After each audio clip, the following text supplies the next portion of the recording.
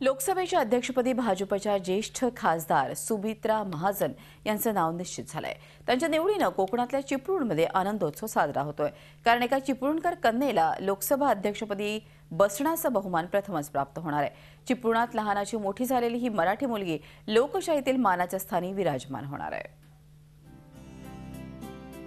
सुमित्रा महाजन मीरा कुमार यांच्या पाठोपाठ लोकसभा अध्यक्ष म्हणून पदभार स्वीकारणाऱ्या त्या दुसऱ्या महिला असणार आहेत. मध्य प्रदेशच्या इंदोरमधून तब्बल आठ वेळा लोकसभेवर निवडून आलेल्या त्या भाजपच्या ज्येष्ठ खासदार.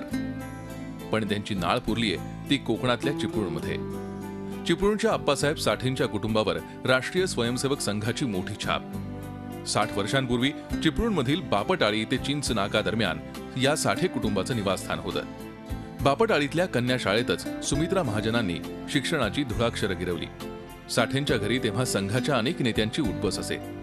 चिपळूणवासियांच्या मनात त्या आठवणी पुन्हा ताज्या झाल्यात. लोकमान्य टिळक स्मारक वाचन मंदिराशी त्यांचा अत्यंत जुना संबंध होता. बालवाचक असल्यापासून ते इथे यायच्या इथे वाचायच्या आणि बहिरीच्या देवळाच्या परिसरात वगैरे मोठ्या झाल्या त्या. त्यामुळे चिपळूण शहराची त्यांची अत्यंत जवळीक आहे. किंबहुना चिपळूणचा कोणी माणूस दिल्लीला गेला की त्या त्यांना सगळ्या जुन्या आठवणी विचारतात. आजही त्यांच्या मनामध्ये जुनं चिपळूण तरळते युनायटेड इंग्लिश स्कूलमध्ये सुमित्रा महाजनांचं आठवी ते जुन्या अकरावी पर्यंतचं शिक्षण झालं आज सुमित्रा महाजन लोकसभा अध्यक्षा होत असताना सर्वाधिक आनंद झालाय तो त्यांच्या वर्गमैत्रीण सरोज नेने यांना. शालेय जीवनापासून सुरू झालेली नेने आणि सुमित्राताईंची मैत्री तशीच कायम आहे. आपली मैत्रीण आज महाराष्ट्राचाच नव्हे तर देशाचा सन्मान बनतीये या जाणीवेनं नेनेंना भरून आलाय. खरं म्हणजे खूप भरा भरून आले आपली मैत्रीण इतक्या मोठ्या पदावरती जाणार आहे. आणि अजूनही इतक्या मोठ्या पदावर जाऊन सुद्धा मला खात्री आहे की तिचे पाय पूर्ण अजून जमिनीवरती आहेत. हा एक वेगळा नाही तर मनुष्य खूप बदलतं असं म्हणतात किंवा आपल्याला आढळतं साध्या साध्या पण तिच्या बाबतीत मात्र मला कधी असं वाटत नाही ती कुठेही कशीही असली तरी तिचा माझा संपर्क जो आहे त्याच्यामध्ये कधी खंड पडेल असं नाही वाटत. अजूनही सुमित्रा महाजन चिपळूणात आल्या की आपल्या मैत्रिणीला आवर्जून भेटतात. चिपळूणच्या लोकमान्य टिळक स्मारक वाचनालयाशी सुमित्रा महाजन आणि त्यांच्या बंधूंचा निकटचा संबंध आहे. त्या जेव्हा चिपळूणमध्ये येतात तेव्हा दीडशे वर्ष जुन्या या वाचनालयाला आवर्जून भेट देतात. त्यांचं बालपणही याच वाचनालयात गेलंय.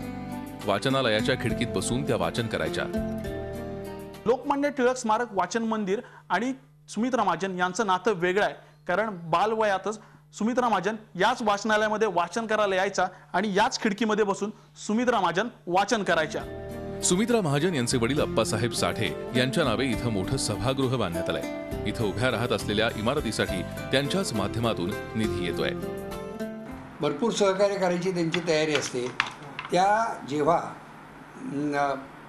आम्ही या ग्रंथालयाचं एक सभागृह बांधायचं ठरवलं तेव्हा आम्ही दिल्लीला गेलो होतो. चर्चा झाली त्यांच्याशी आणि त्यांना म्हटलं की आपण इथे सभागृह बांधायचं आहे ठीक आहे म्हटलं मी प्रयत्न करते. मी तुला लागेल ती मदत करेन. आणि त्यांनी लगेच नजमा हेप्तुल्ला आणि बाळासाहेब आपटे यांच्याकडून दहा दहा लाख रुपयाचे निधी गोळा करून दिला. आणि त्या खासदार निधीतून आपण सभागृह बांधलं. त्या सभागृहाला आपण त्यांच्याच वडिलांचं अप्पासाहेब साठेंचं नाव दिलं. अप्पासाहेब साठे सभागृह आपण उभं केलं. कोकण कन्या सुमित्रा महाजन आता लोकसभेच्या अध्यक्षपदी विराजमान होत आहेत. चिपळूणच्या बाहेर वाशिणीला आणि एका महाराष्ट्रीयन महिलेला प्रथमच हा सन्मान मिळतोय आणि म्हणूनच प्रत्येक कोकणवासी सुखावलाय एवढं नक्की. Pranav Kolekar Zee media Ratnagiri. Zee चोवीस तास रहा एक पाऊल पुढे.